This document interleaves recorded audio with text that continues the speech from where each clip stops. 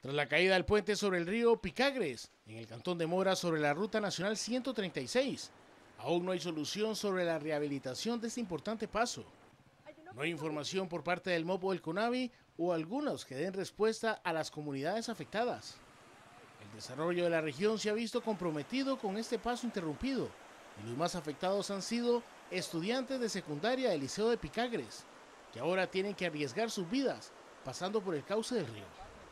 Estamos tomando medidas, se han tomado la comunicación con padres de familia, se han adecuado horarios también para que los estudiantes vengan, reciban sus lecciones. Sin embargo, eh, nos es realmente preocupante la no intervención en este momento del puente. Sí se han mandado y se han gestionado algunas cartas a algunas entidades. En cuenta la Municipalidad de Mora, quien nos contesta que eh, están realizando las gestiones pertinentes. ¿verdad? Y no, muchos se han resbalado, se han caído entre el agua, tienen que irse en así.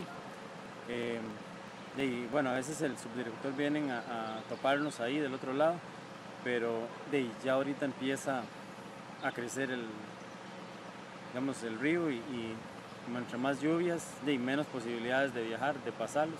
Sí, ya, ya ha sido un poco difícil, ¿verdad? Porque ya, sí, como usted dice, hay que madrugar para poder pasar ahí la, la mi hija y, y, pasar, tratar de pasar ahí con la moto también, ¿verdad? ¿Qué pasa si crece el río?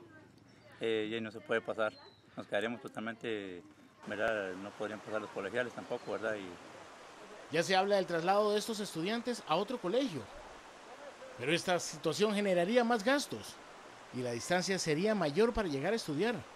Los vecinos aseguran que nadie tiene respuesta a ese problema y esperan que alguna autoridad del gobierno les brinde algún tipo de solución.